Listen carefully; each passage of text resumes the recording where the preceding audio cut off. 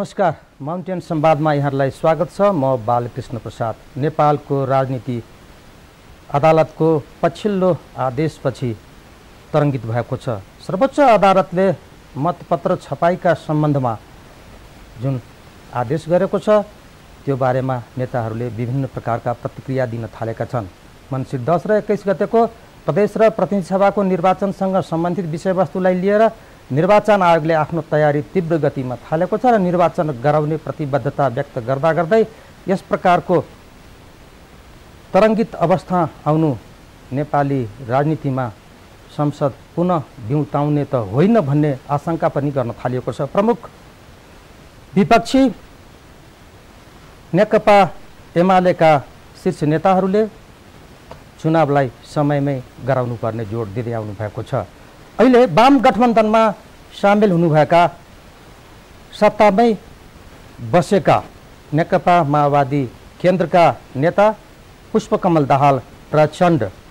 उहाँले पनि निर्वाचन सार्न बाहना खोजिरहेको भनेर आरोप लगाउँदै निर्वाचन सार्न खोजिए संसद स्वत बिउतिने भनेर चेतावनी समेत दिनुभएको छ। आज हामीले नेपालको पछिल्लो राजनीतिक अवस्था र अहिले ठुला दलहरूले गरिरहेको विभिन्न प्रकारका कार्यक्रम र सोसँग सम्बन्धित जोडिएका विषयवस्तु सँगसँगै अदालतको पछिल्लो प्रसङ्गलाई समेत हामी केलाएर हेर्न खोजेका छौँ र यसका लागि नेकपा एमालेका वरिष्ठ नेता तथा पूर्व प्रधानमन्त्री झलनाथ खनाल अहिले हामीबीच स्टुडियोमा उपस्थित हुनुहुन्छ। यहाँलाई स्वागत छ। धन्यवाद। यो जस्तो कि मैले यो कार्यक्रमको उठानमा विषयवस्तु प्रस्तुत गरेँ अहिलेको राजनीतिलाई यहाँले कसरी हेर्नुभएको छ? हामी अहिले चुनावी अभियानमा छौँ। सिङ्गो राष्ट्र चुनावी अभियानमा छ। र निर्वाचन आयोगले चुनावको सम्पूर्ण प्रक्रिया तयार गरेर त्यो प्रक्रियालाई अगाडि बढाइसकेको छ। अब आजबाट मतपत्र छापिने कुराहरू पनि पत्र पत्रिकाहरूले पनि भनिसकेका छन्। त्यसो हुनाले यस्तो प्रक्रिया अगाडि बढिरहेको बेलामा राज्यका सबै अङ्गहरूले यो निर्वाचनलाई शान्तिपूर्ण ढङ्गले सम- सम- सम्पन्न गर्न र यो निर्वाचनलाई समयमै सम्पन्न गर्न र यसलाई सफलीभूत बनाउनुको लागि सबैले भूमिका खेल्नुपर्ने ठाउँमा। अहिले सर्वोच्च अदालतबाट जुन प्रकारको आदेश यो पछिल्लो पटक सिङ्गल बेन्चबाट अगाडि आयो त्यसले एउटा आशंका पैदा गर्यो। कतै यो मतपत्र अलग अलग गर्नुपर्छ भन्ने नाउँमा यो निर्वाचनलाई चाहिँ नि प्रक्रियालाई अगाडि सार्न खोजिएको हो कि पर सार्न खोजिएको हो कि अथवा स्थगित गर्न खोजिएको हो कि अथवा निर्वाचनै नगराउने पो कुनै षड्यन्त्र हुँदैछ कि? भन्ने खालको चाहिँ एउटा आशंका पैदा भएको छ। यो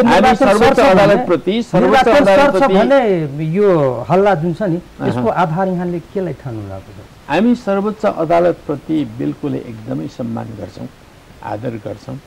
त्यो न्यायालयको एउटा पुञ्ज हो। तर त्यो ठाउँबाट आउने जुन खालका निर्णयहरू छन् ती निर्णयहरू विवादास्पद हुनु हुँदैन। र कानुन सम्मत संविधान सम्मत हुनुपर्छ र अहिले संविधान अ, लाई कार्यान्वयन गर्ने सिलसिलामा निर्वाचन आयोगले जुन निर्वाचनको तयारी गरिरहेको छ त्यो बिल्कुलै कानुन सम्मत नै छन्। हामी सम्पूर्ण राजनीतिक दलहरूले एक आपसमा छलफल गरेर त्यसमा सहमति गरेर यी कुराहरू अगाडि बढाइएको छ र अब मतपत्र छाप्ने बिन्दुमा चाहिँ निर्वाचन आयोग पुगेको छ। त्यस्तो बेलामा निर्वाचन राजनीतिक पार्टीसँग भएकै सहमति अनुरूप पनि मतपत्रहरू चाहिँ नि प्रदेशको होस् अथवा चाहिँ सङ्घको होस् त्यो अलग अलगै हुनुपर्छ। र अलग अलग ढङ्गले चाहिँ छापिनुपर्छ भनेर तर एउटा सिटमा अलग रङ्गका अलगै मतपत्र छापिँदैछन्। तर त्यसमा अहिले जुन प्रकारको बखेडा उठाउनको लागि सत्तारूढ दलका एकजना नेता सर्वेन्द्रनाथ शुक्लाले पटक। पटक गरिकन जुन रिट हालिरहनु भएको छ र त्यो रिट मार्फत चाहिँ जुन प्रकारको आदेश अहिले जारी भइरहेको छ कतै वर्तमान सरकार चाहिँ नि यो वाम गठबन्धनबाट आतङ्कित भएर चुनावै रोक्ने पो दिशामा पुगेको छ कि भन्ने एउटा आशंका देशमा हामीले त्यसलाई सतर्क तर। अदालतले त दुईटा मतपत्र छाप्नुपर्छ भन्ने ए, आशयको आदेश चाहिँ अगाडि बढाएको छ त्यो हिसाबको छ दुईटा मतपत्र नै निर्वाचन आयोगले पनि छाप्ने कुराहरू गरिरहेको छ। एउटै मतपत्र कहाँ छ र? दुईटा मतपत्र दुईटा अलगै रङ हो त एउटा सिटमा छाप्न नपाइने। एउटा सिटमा छाप्दा भएको जस्तो अब स्थानीय निकायको निर्वाचन हुँदाखेरि पनि त अध्यक्षदेखि लिएर चाहिँ नि सातवटा चाहिँ नि मतहरू हुन् नि त्यहाँ। सात मत हानियो नि। तर ती सात मत एउटै सिटमा त छापेको थियो नि। तर अलग अलग प्रष्ट ढङ्गले देखिने गरिकन छापिएको थियो। र अहिले हाम्रो ऐनमा दुईवटा सिटमै छाप्नुपर्छ। एउटा सिटमा छाप्नै हुन्न भन्ने काहीँ छ र त्यस्तो। त्यस्तो व्यवस्था त कुनै पनि ऐनमा छैन।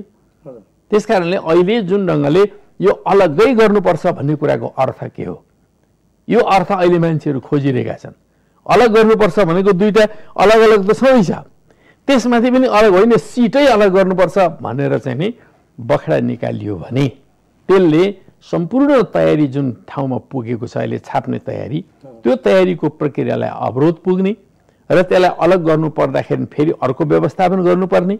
अर्को व्यवस्थापन गर्नुको लागि अर्को समय चाहिने थप समय चाहिने।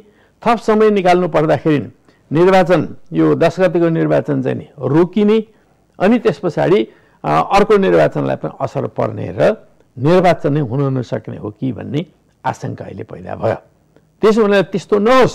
राज्यका कुनै पनि अङ्गले चाहे त्यो न्यायालय होस् चाहे त्यो व्यवस्थापिका होस् चाहे त्यो कार्यपालिका होस् निर्वाचनको यत्रो महाअभियानमा राष्ट्र अगाडि बढिरहेको बेलामा त्यसलाई अवरोध पुग्ने खालको कुनै पनि आशय कुनै पनि एउटा चाहिँ निर्णयहरू कुनै पनि काम कारवाहीहरू आदि कसैले पनि नगरोस्।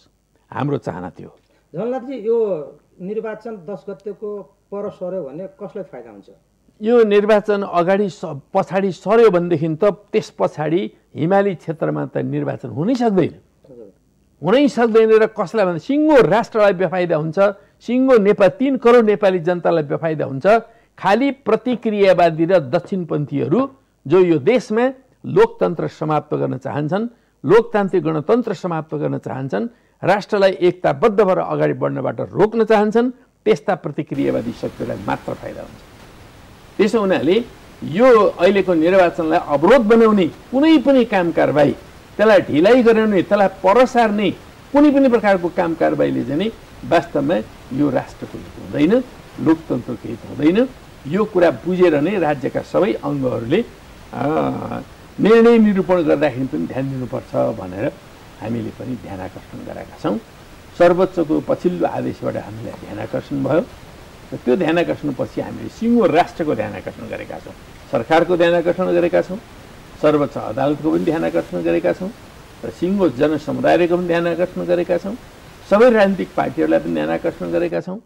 र यो हिजोको हामीले जुन पत्रकार सम्मेलन गऱ्यौँ त्यस मार्फत राष्ट्रको हामीले ध्यान आकर्षण गरेका छौँ। यो पछिल्लो पटकको जुन राजनीतिक गतिविधि जुन ढङ्गले अगाडि बढेको छ वाम गठबन्धनका कारण नै यस्तो भएको भनेर यहाँले महसुस गर्नुभएको छ। अब कतिपय क्वार्टरमा त्यस्तो कुरा चलेको छ। हजुर। वाम गठबन्धन भएपछि अथवा नेकपा एमाले र नेकपा माओवादी केन्द्रको एकता हुन्छ अब भन्ने कुरा हुने बित्तिकै सत्तारूढ दल सरकार सरकारको नेतृत्व गरिरहेका प्रधानमन्त्री के भन्न थाल्नुभएको छ भने अब देशमा कम्युनिस्ट तानासाही आउने भयो मुलुक अन्धकारतिर जाने भयो तानासाही शासन व्यवस्था आउने भयो त्यस कारण अरू सब एकताबद्ध हुनुपर्छ भनेर चाहिँ नि विभिन्न पार्टीहरूसँग उहाँले गठबन्धन गर्न थाल्नु। त्यो उहाँहरूले गरेको गठबन्धनलाई हामीले केही टिप्पणी गरेका छैन। हामी के भन्छौँ भने संविधान बमोजिम कुनै पनि पार्टी एक आपसमा एलायन्स गर्छ गठबन्धन गर्छ र एकताबद्ध भएर उनीहरू जान्छन् भने त्यो उनीहरूको मौलिक हकको कुरा हो। हामी त्यसलाई के पनि भन्दैन। तर उहाँहरूले गठबन्धन गर्न हुने तर वामपन्थीले गठबन्धन गर्नु नहुने वामपन्थीले गठबन्धन गर्ने बित्तिकै आकाश खस्ने अनि एकैचोटि अन्धकार आइहाल्ने एकैचोटि तानासाई आइहाल्ने कम्युनिस्ट पार्टीले लोकतन्त्र मार्फत चाहिँ नि बहुमत ल्याएर शासन गर्ने प्रयत्न गर्यो भने त्यो तानासाई हुने। यो अहिलेको नेपाली कङ्ग्रेसको जुन परिभाषा हो यो आफै तानासाई हो यो आफै हिटलरी परिभाषा हो यो। चाहिँ नि यस्ता खालका परिभाषा मार्फत मुलुकलाई वर्ग ल्याउने मुलुकको आम जनतालाई भ्रमित पार्ने जुन खालको कोसिस भइरहेको छ त्यो कोसिसका हामी विरुद्ध छौँ।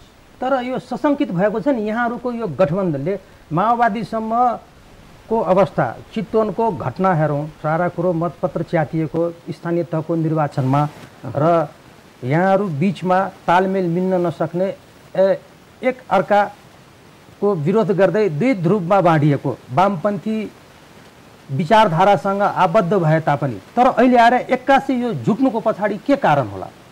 यो चाहिँ यस्तो हो कि हामी एउटा नयाँ युगमा आएका छौँ अब। बैसठी त्रिसठीको परिवर्तनपछि यो देशमा लोकतान्त्रिक क्रान्ति सम्पन्न भयो। र अब हामी समाजवादको लक्ष्यतर्फ अगाडि बढ्छौँ भनेर स्वयं संविधानले भन्यो। यो संविधान पारित गरेको नेकपा एमाले माओवादी पार्टी अनि त्यस पछाडि नेपाली कङ्ग्रेसले समेत हो। सर्वेन्द्रनाथ शुक्लाको पनि हो यो। है तर यो संविधान पारित गरेर अब समाजवादको लक्ष्यतर्फ हामी जान्छौँ भनेर पारित गर्ने। तर वामपन्थीहरू एकताबद्ध हुने बित्तिकै चाहिँ अब त्यो प्रकारको त्रसित हुनुपर्ने जुन कुनै आवश्यकता त हुँदै होइन। हामीले अहिले वामपन्थी एकता गरेको भनेको के हो भने हामी कम्युनिस्ट आन्दोलन अहिले अडसट्ठी वर्षको भयो। त्यो अडसट्ठी वर्षको कम्युनिस्ट आन्दोलनमा विगतमा छ सालदेखि एक्काइस सालसम्म यो एकताबद्धै थियो।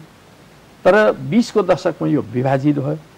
तिसको दशकबाट एकताको प्रक्रिया सुरु भयो। यो नेकपा एमाले भनेको चाहिँ नि छत्तिस सैँतिसवटा समूहहरू मिलेर बनेको पार्टी भयो। हामी सबै कम्युनिस्ट समूहलाई एकताबद्ध गर्दै ल्यायौँ चालिसको दशकमा पनि एकतालाई अगाडि बढायौँ हामीले। पचासको दशकमा हामी आफै फुट्यौँ तर फेरि जुट्यौँ। साठीको दशकमा हामी अरू सबै वामपन्थी मोर्चा बन्दै आयौँ हामी। त्यो मोर्चा बन्दा यो देशमा कुनै आकाश खसेन।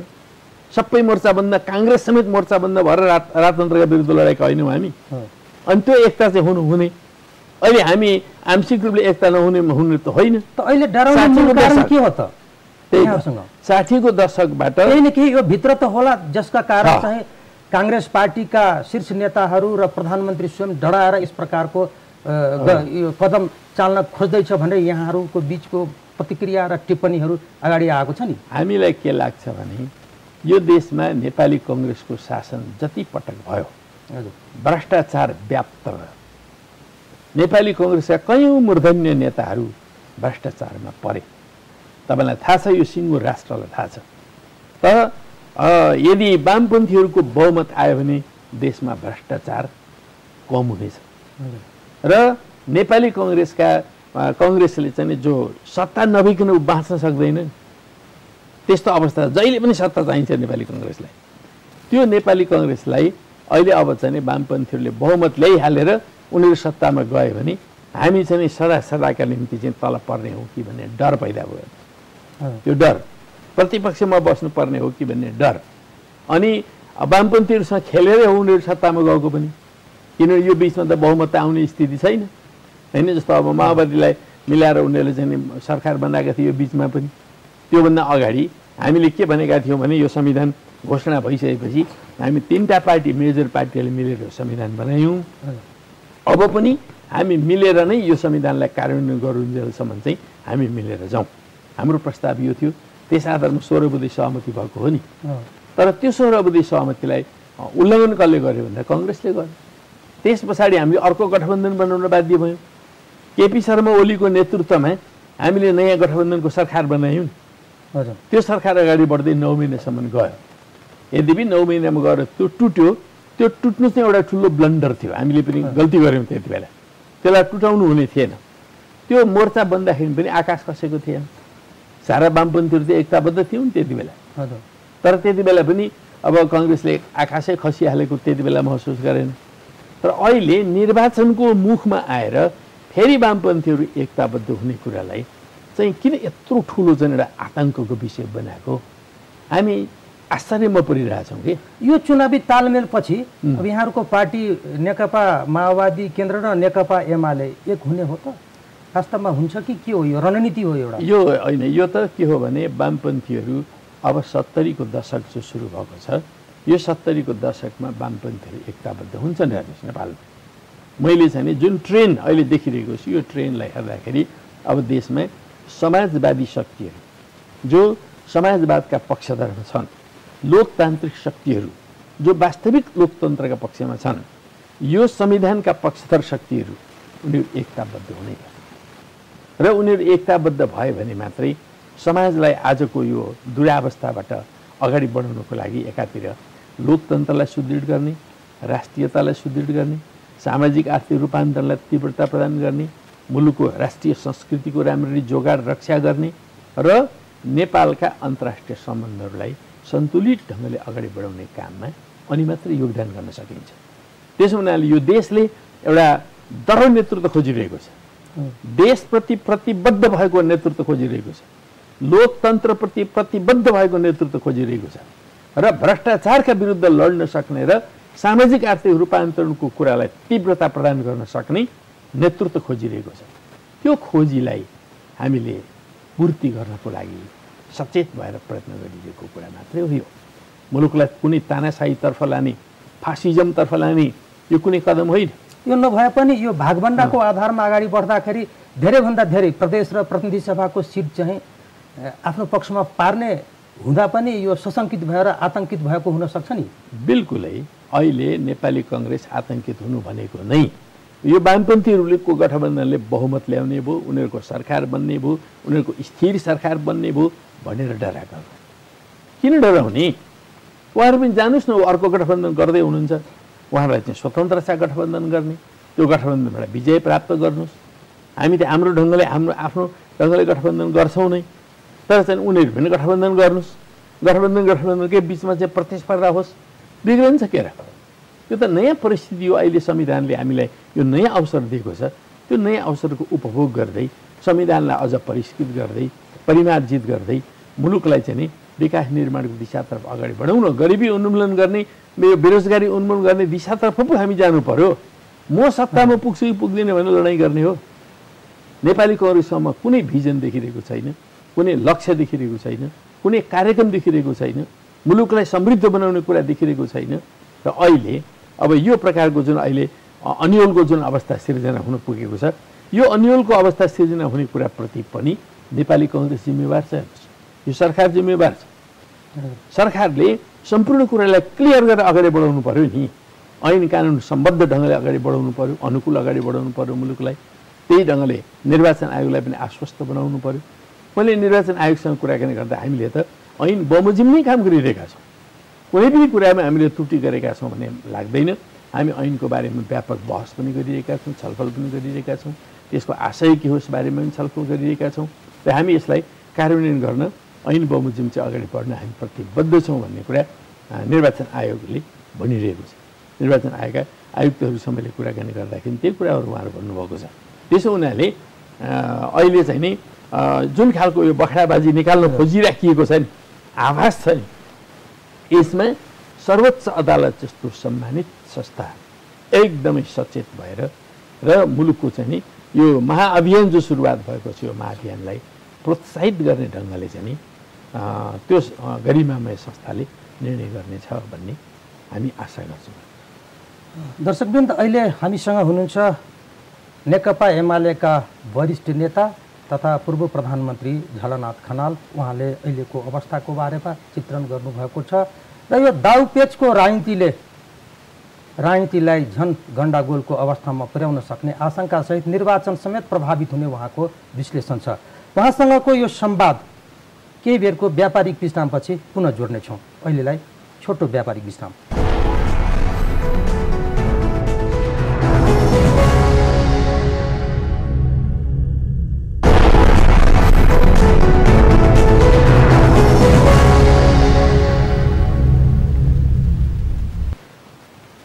पुनः स्वागत छ दर्शकबिन्द र अहिले माउन्टेन संवाद चलिरहेको छ। संवादमा सहभागी हुनुहुन्छ पूर्व प्रधानमन्त्री तथा नेकपा एमालेका वरिष्ठ नेता झलनाथ खनाल। खनालजी यहाँलाई पुनः स्वागत छ। धन्यवाद। यो चुनाव जुन छ नि सर्यो भने संसद पुनर्स्थापित हुने विपक्षी नेताहरूले हिजोबाट यो भन्दै आउनुभएको छ। यो नेप नेपालको संविधानको कुन धारा टेकेर यो संसद पुनर्स्थापित हुन सक्ने सम्भावना छ। पहिलो कुरा त हामीलाई पहिलादेखि पनि हजुर। यो निर्वाचन एकदम समयमै गरिन्छ कि गरिन्न भन्ने कुराप्रति आशंका छ। विभिन्न ढङ्गका ट्रेन्डहरू हामीले एनालाइसिस गर्दाखेरि त्यो कुरा हामी देखिरहेका छौँ। र त्यस हिसाबले संसद जति बेला चाहिँ नि अब यो सकिने अवस्था आयो। संविधान बमोजिम नयाँ निर्वाचनको प्रक्रिया सुरुवात भएपछि जब मनोनयनको प्रक्रिया था हुन्छ त्यो मनोनयनको प्रक्रिया नयाँ संसद निर्वाचन गर्नको लागि चाहिँ नि अगाडि बढिसकेपछि संसद स्वतः विघटित हुन्छ। तर मनोनयनको प्रक्रिया नै भएन भने चुनावै स्थगित भयो भने अनि कुन चाहिँ कारणले संसद रोकिनुपर्ने अथवा संसद विघटित हुनुपर्ने के कारण रहन्छन्? अहिले त स्वतः सिद्ध रूपमा माने चाहिँ मनोनयनको प्रक्रिया अगाडि बढेपछि संसद विघटित हुन्छ भनिएको छ। होइन? जब त्यो मनोनयनको प्रक्रिया नै स्थगित भइदियो रोकियो कुनै कारणवश भने संसद स्वतः विघटित हुनुपर्ने स्थिति हुन्छ। संसद पनि मर्ने यता निर्वाचन पनि नहुने अनि एउटा सरकार चाहिँ यहाँ रहने त्यसले तानासाही सञ्चालन गर्ने। लोकतन्त्रमा त्यो सम्भव छैन। त्यसैले सम्माननीय सभामुख ओनसारी घरतीले यो अस्ति जुन संसदको अन्तिम बैठक भएको थियो उसमै।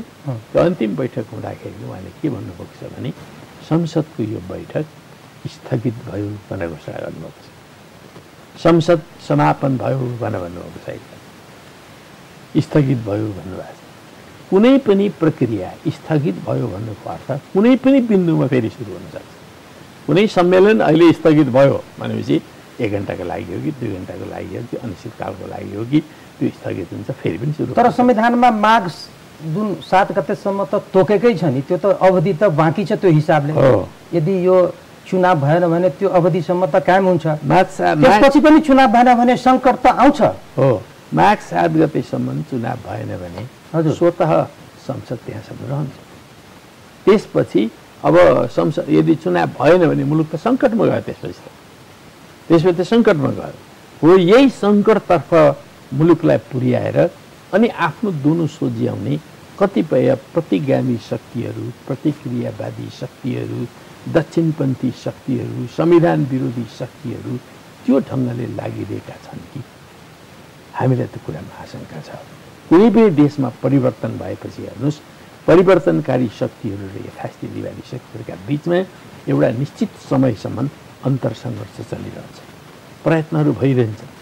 नेपालमा पनि पटक पटक प्रतिगमनका प्रयत्नहरू भए होइन त जनता त दोषी छैन नि। जनता त परिवर्तनको अनुभूति पाउनु पर्यो भनेर भन्छन्।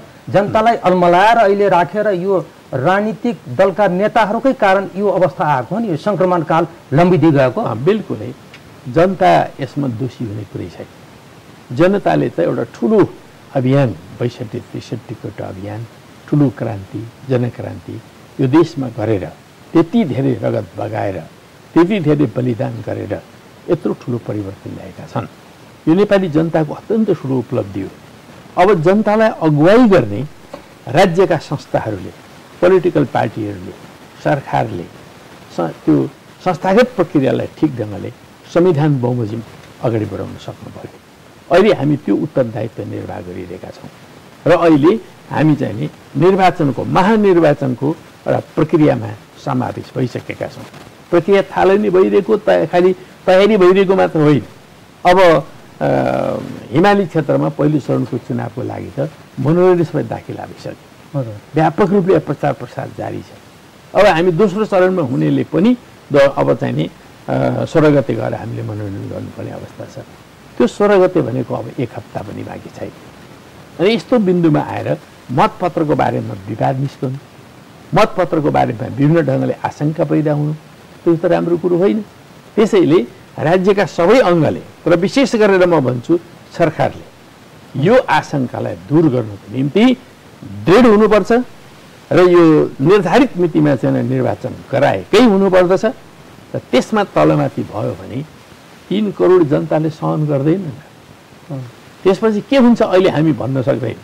तर कसैले कुनै पुस्तकमा लेखेर सर्छ भन्ने यहाँहरू माओवादी केन्द्र र नेकपा एमालेका शीर्ष नेताहरूलाई पहिले नै आशंका थियो। त्यही भएर उहाँले सरकारबाट चाहिँ नहट्न भनेर चाहिँ सङ्केत गर्दै त्यो दबाब दिन खोजिएको थियो। बिल्कुल। यही हो। हामी परिवर्तनकारी शक्तिहरू हजुर। प्रतिक्रियावादी र दक्षिणपन्थीहरूका षड्यन्त्रहरूसँग होसियार छौँ।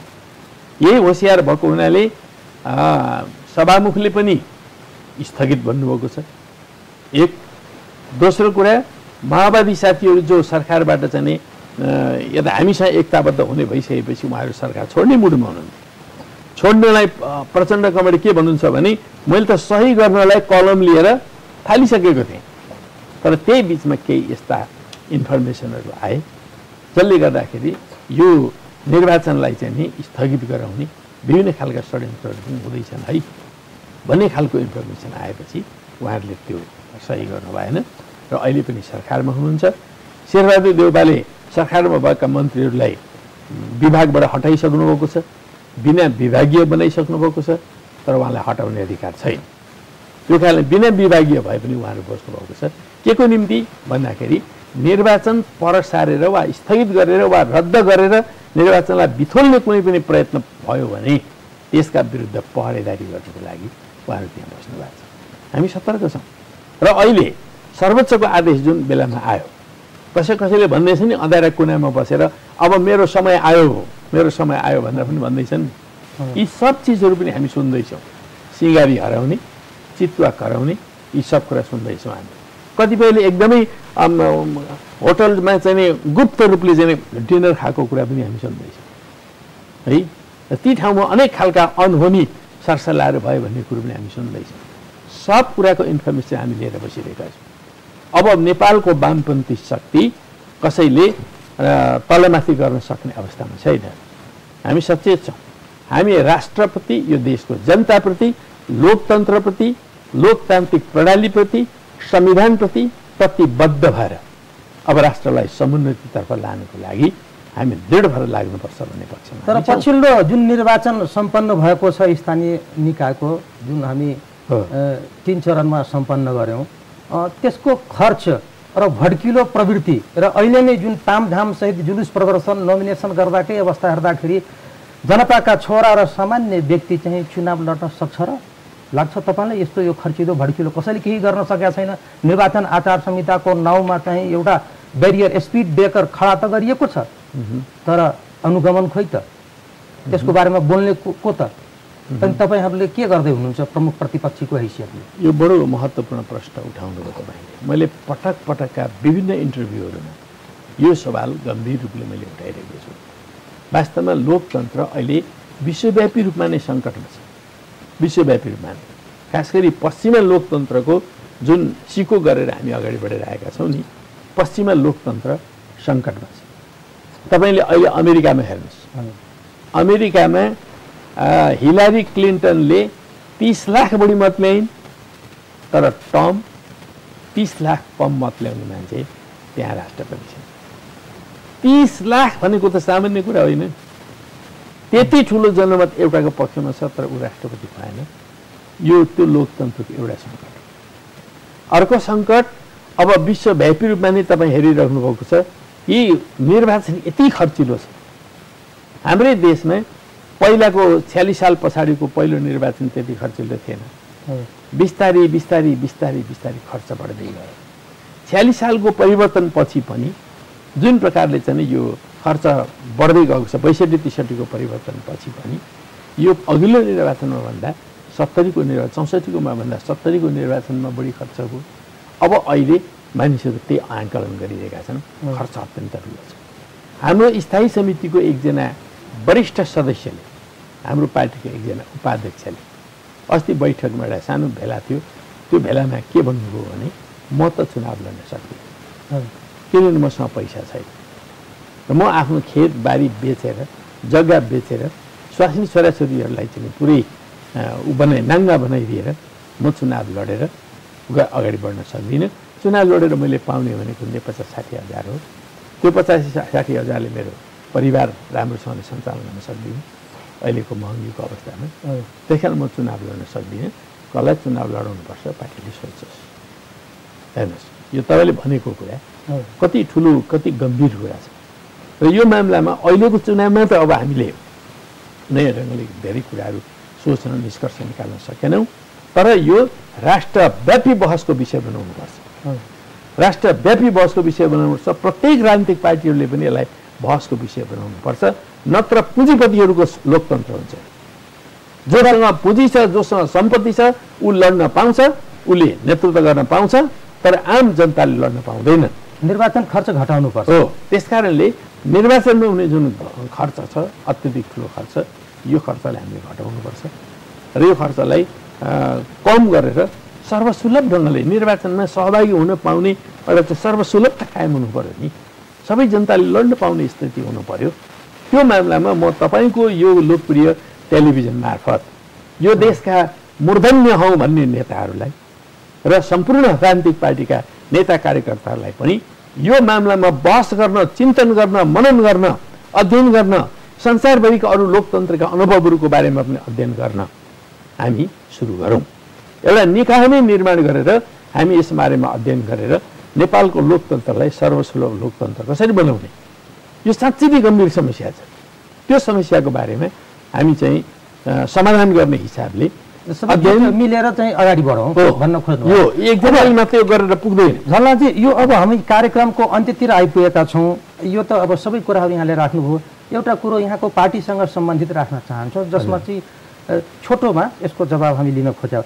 यो गठबन्धनले गर्दाखेरि वाम गठबन्धनले गर्दाखेरि तपाईँका भित्रका इमान्दार कार्यकर्ताहरू पाखा लगाइएका छन्। ठाउँ ठाउँमा जित्न सक्ने उम्मेदवारलाई त्यो ठाउँमा अर्को पार्टीको गठबन्धनका उम्मेदवारलाई टिकट दिन खोजेको छ।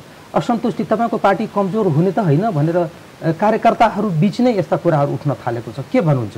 यसलाई वस्तुगत हिसाबले हेर्नुपर्छ वस्तुवादी हिसाबले हेर्नुपर्छ कि हामीसँग जम्मा जम्मी चुनावमा लड्ने सङ्घमा एक सय पैँसठी हजुर। र अर्कोमा चाहिँ त्यस्तै गरेर तिन सय बिस आदि सिटहरू मात्रै हुन्। यो सिट त बढाउनु मिल्दैन। अब हाम्रो पार्टीमा पनि उत्तिकै आकाङ्क्षीहरू छन्। माओवादी केन्द्रमा पनि उत्तिकै आकाङ्क्षीहरू छन्। काहीँ न काहीँ माओवादीले छोड्नु पऱ्यो काहीँ न काहीँ एमाले छोड्नु पऱ्यो त्यो जहाँ जहाँ छोडिन्छ त्यो त्यो ठाउँमा ती साथीहरूलाई अलिकति चित्त दुख्छ किनभने म चाहिँ अब यो ठाउँको अब जनप्रतिनिधि हुन्छु भनेर जसले सोचेर आइरहेको थियो। उसको मनमा अलिकति ठेस लाग्ने स्थिति भयो। त्यति हो यो इन्डिभिजुअल व्यक्तिलाई ठेस लागेको हो। तर समग्रमा के हो त भन्दा भोलि पार्टी अझ एकताबद्ध हुँदै जाँदैछ। हामी वामपन्थीहरू एकताबद्ध हुँदै जाँदैछौँ।